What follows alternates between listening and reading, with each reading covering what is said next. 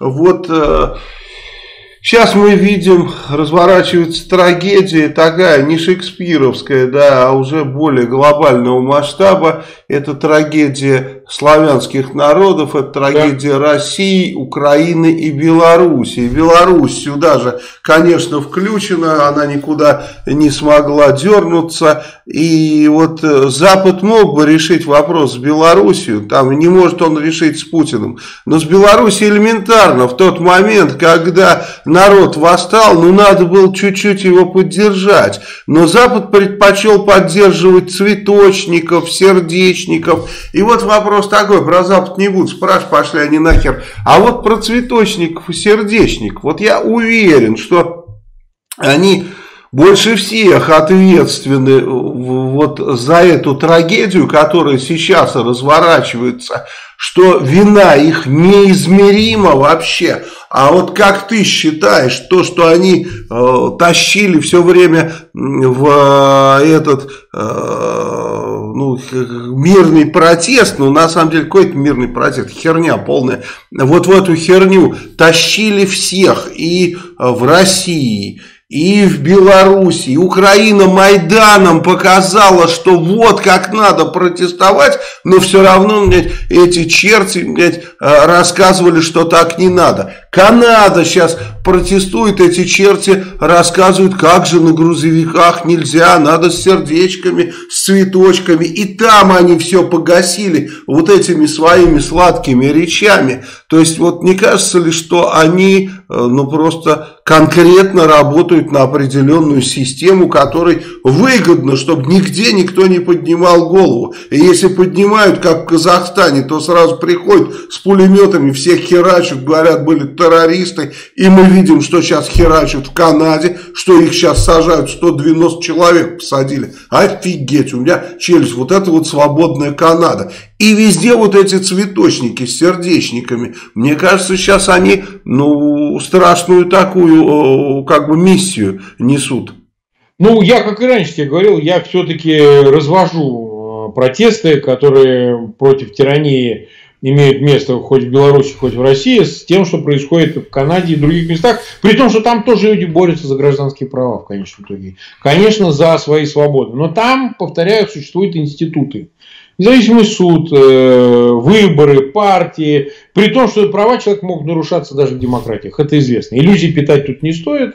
Но все равно я разделяю. То есть для меня важна э, система несвободы в которой существует наш народ, э, и это важнее, это первичнее.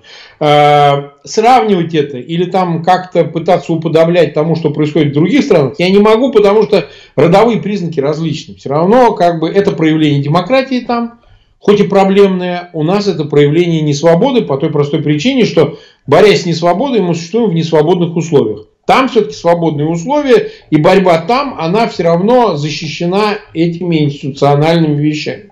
Есть свободный суд, есть, в конце концов, возможность э, политических выборов, участия в них, голосования и так далее. Чего вообще нет, в принципе, никаких институтов в России или там, Беларуси. Просто их не существует.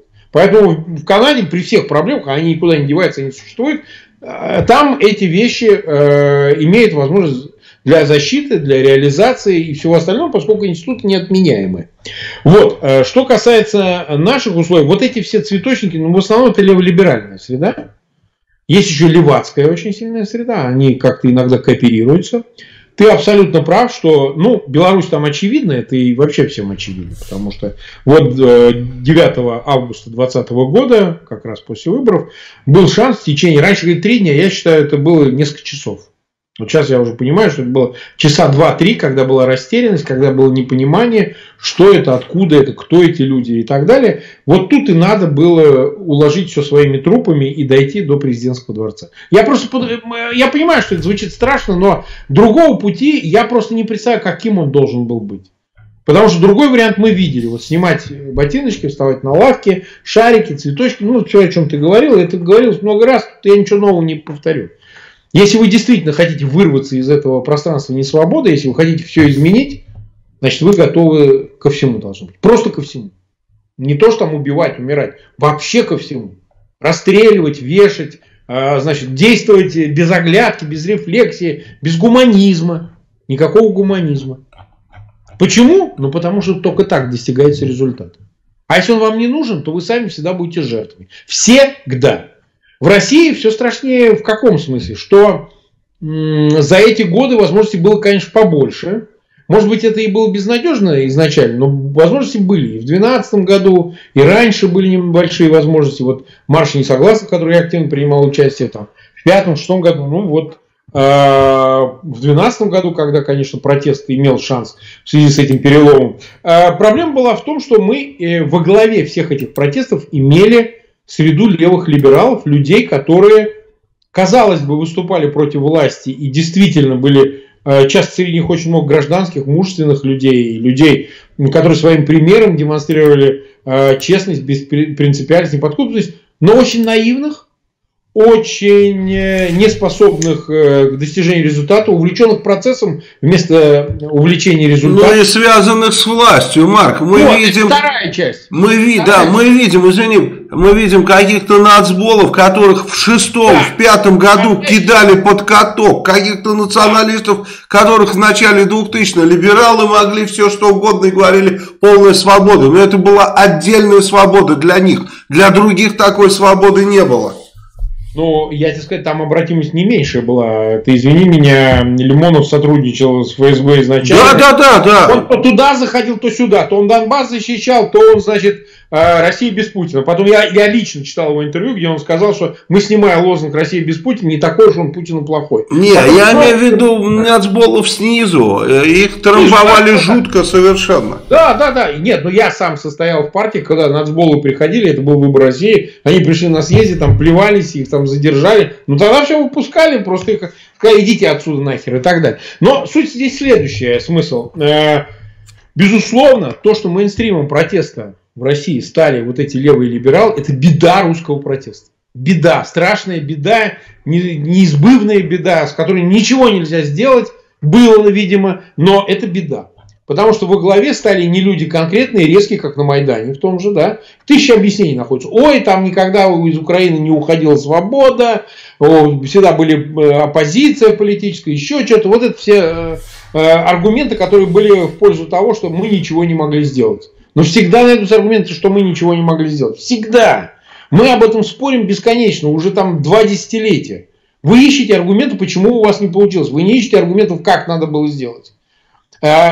Следующее, в этом примыкает к этому вопросу, к тому, что мейнстримом были эти люди, то, что они все время находились в союзе с представителями власти, о которых ты говоришь. Неважно, через посредниковых Венедиктовых, их Москвы, таких же, значит, то депутатов отдельных, то общественных палат, то еще какого-то говнеца. Они всегда через них имели эту коммуникацию. И власть их как бы так немножко подманивала, где-то причесала, куда-то пустила, дала депутатикам стать, дала каким-то денежкам присылать, уехать, приехать э, и так далее. Понимаешь? По чуть-чуть дешевствовала, я вот так скажу.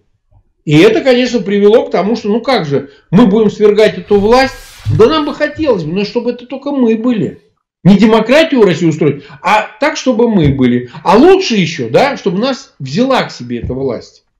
Лучше, чтобы она нас докооптировала, чтобы мы стали ее частью и как-то на нее немножко влияли. Вот Собчак классический пример, когда она, выступая 24 декабря 2011 года, на, я стоял на трибуне, там рядом, слушал это все, на Сахарова, да, я там э, был в Федеральной полиции солидарности, мотались одни и те же люди, и она говорила, задача не менять власть, а влиять на власть. Вот они на нее влияли. Ну, понятно, как в своих интересах, в свою пользу. И заразили этим всех остальных.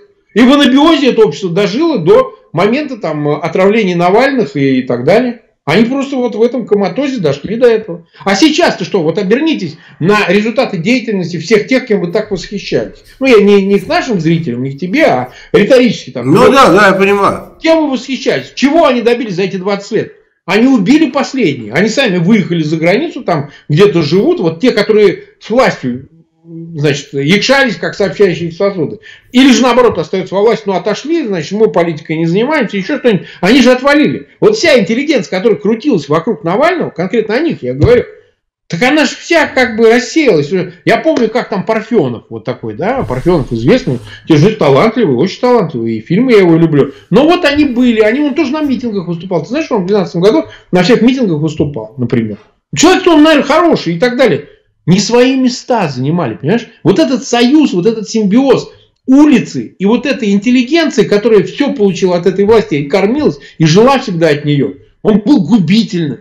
Губительным, потому что выяснилось, что когда это стало страшно и начало фонить от всех этих Немцовых и Навальных, они все отвалили. Ну, они все отвалили. Где эти протесты интеллигенции? Что они на суд-то не едут к Навальному? Когда это было модненько, мейнстримненько, когда это было соответствовало моменту, когда этому аплодировали, они все были рядом. Они вот тут как тут были. Но мы тут с Лешей, мы тут то все. Как только, значит, засверкало опасностью, значит, какие-то появились, значит, э, угрозы, они тут же все в рассыпную. Никого не осталось.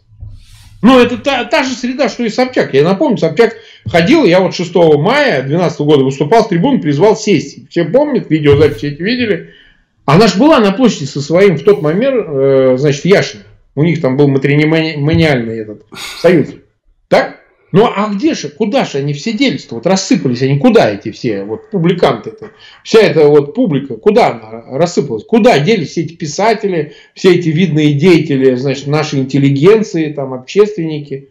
Ну все, их просто нет, они просто ушли в свои профессии. А мы, вы знаете, не, мы, вы знаете, не, не, не.